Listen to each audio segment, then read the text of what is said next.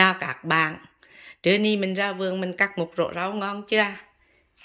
À, rau này đây là có là nệm dưới nữa các bạn nhé cần sẻ ngò rỉ, à, lá mà đê rồi à, cái cúc à, mấy cái đọt nó có bóng á, mình bẻ mình bỏ vô.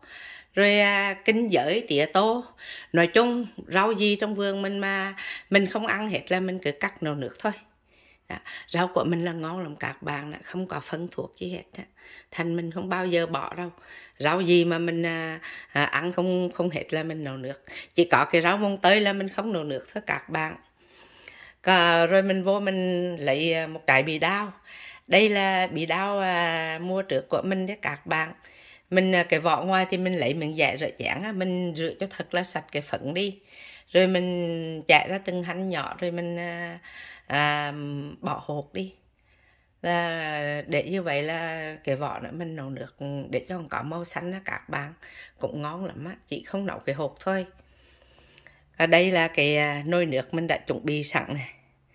Và mình có đập vô miếng gừng rồi nha các bạn. Đó có miếng gừng rồi đó thì à, chứ mình đã chuẩn bị rồi à, mình bỏ à, rau à, xuống dưới à, bị lên trên là nấu thôi.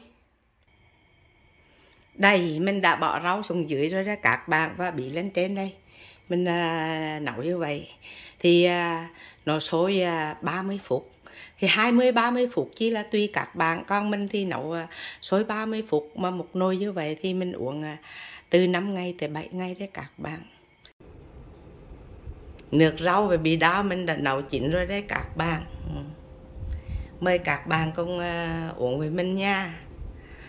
Nếu các bạn uh, muốn có một uh, ly nước mà ngon uh, như vậy thì uh, có nhà có vườn trong đi nha.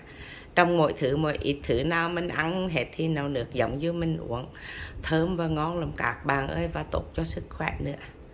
Thôi mình chào các bạn nha.